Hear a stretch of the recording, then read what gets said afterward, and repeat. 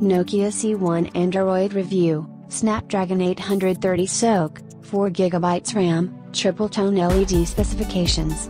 With HMD Global taking charge of Nokia, the company is all set to make a comeback in the smartphone industry with new Android smartphones in 2017.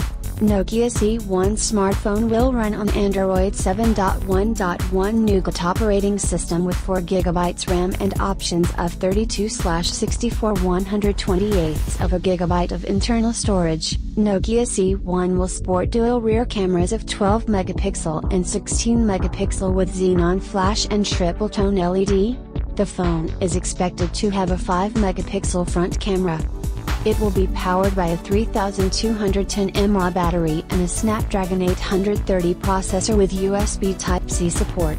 Thanks for watching, if you like this video, subscribe my channel, and put a comment below, bye.